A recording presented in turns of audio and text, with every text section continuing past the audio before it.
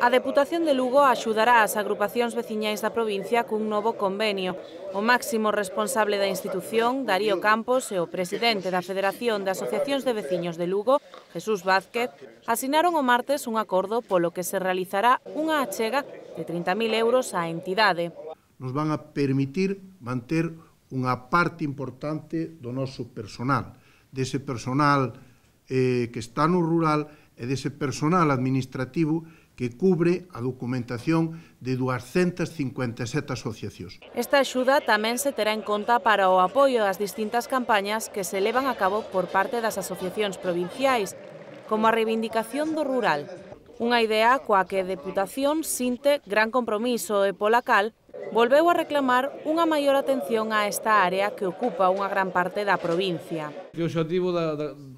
da federación non dista moito do noso, dicir, polo menos da miña idea de, de facer provincia e de pelear polo rural e de pelear polos dereitos que, que estamos peleando todos, non? Que poden ser, por exemplo, pois... Eh, as campañas do tren, é dicir, Lugo non perdas o tren, eh, a defensa dos servicios básicos para Lugo, como poden ser a hemodinámica, a medicina nuclear, etc.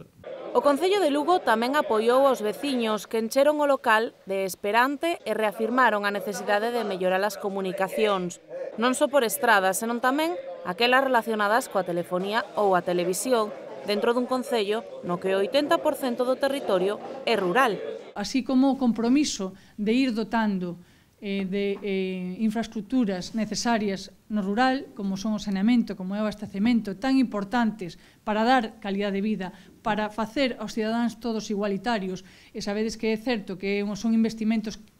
que costan cartos, son investimentos costosos, pero non por eso temos que deixar de facelos. Arredor de 80 veciños encheron o local social de Esperante, Elexido pola súa loita dende hai anos para ver crecer a vida na parroquia, xuntáronse para coñecer o motivo desta inversión, coa que se espera poder mellorar as contas das asociacións da provincia e que permitirá seguir organizando algunha das actividades que se levan a cabo ao longo do ano, como é o encontro entre asociacións no Día do Veciño.